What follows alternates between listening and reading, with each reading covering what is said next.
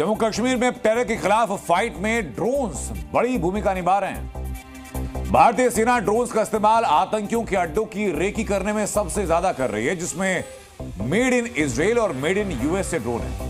लेकिन भारत की ड्रोन तकनीक में तेज़ी से अपना लोहा मनवा रहा है और मेड इन इंडिया ड्रोन्स भी भारत बना रहा है। और अब बहुत जल्द भारतीय सेना को made in Uttar Pradesh drone ताकत देंगे। Uttar Pradesh unmanned air system का गढ़ बनेगा। यूपी में ड्रोन्स के लिए रिसर्च एंड डेवलपमेंट सेंटर बनने जा रहा है उत्तर प्रदेश के अंदर। कीमत लगभग साठ करोड़ का बजट। साठ करोड़ की लागत से बनने वाले सेंटर का नाम ड्रोन टेस्टिंग फाउंडेशन होगा, जहाँ हाईटेक ड्रोन्स मानव रहित विमान विकसित करने पर रिसर्च किया जाएगा और उनको डेवलप किया जाएगा। यूपी का ड्रीम प्रोजेक्ट में से एक।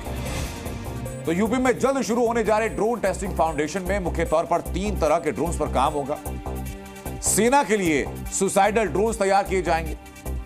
इसके अलावा 15 किलोमीटर तक की ऊंचाई पर उड़ने वाले ड्रोन्स 3000 किलोग्राम तक के हथियार ले जाने में सक्षम ड्रोन्स और एक बार फ्यूल टैंक भरने के बाद 40 घंटे तक उड़ान भरने वाले ड्रोन्स। मैकेनिकल और इलेक्ट्रिक हमले से बेअसर रहने वाले ड्रोन्स बनाए जाए और दुश्मन के अड्डों की रेखी करने वाले ड्रोन्स का प्रोडक्शन भी यहाँ पर करने के लिए रिसर्च होनी शुरू हो चुकी है।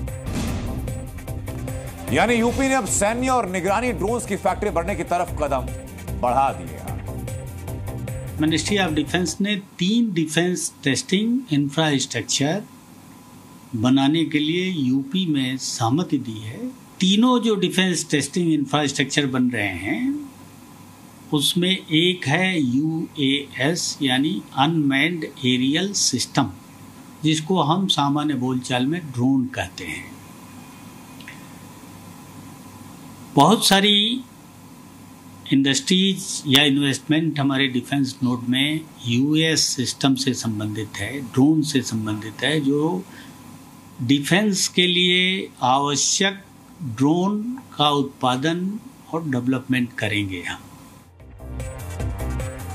भारत सरकार का लक्ष्य है कि साल 2030 तक भारत को ग्लोबल ड्रोन हब बनाया जाए। यूपी में ड्रोन की फैक्ट्री लगाना सरकार की इसी योजना का पार्ट फिक्की की रिपोर्ट के मुताबिक, जो आंकड़े सामने आए, साल 2020 में भारत का ड्रोन मार्केट उनतीस सौ करोड़ रुपए का था, जिसके वर्ष 2025 तक इक्यासी हज़ार छह सौ करोड़ हो जाने का अनुमान। अब सोचे कि पैराबॉलिक शिफ्ट होगा पूरा। इस रिपोर्ट के मुताबिक, वर्ष 2030 तक भारत के ड्रोन मार्केट का साइज़ दो लाख पचानवे हज़ार करोड़ रुपए का हो जाएगा। ये संभावनाएँ हैं इस क्षेत्र में विकसित होने की।